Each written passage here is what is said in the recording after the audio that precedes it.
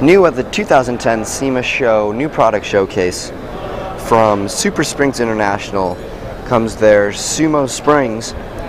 Super Springs developed Sumo Springs for the front end of pickup trucks for added stability and support for the heavy diesel engine or to support snow plows or brush bars. Part number SSF-102.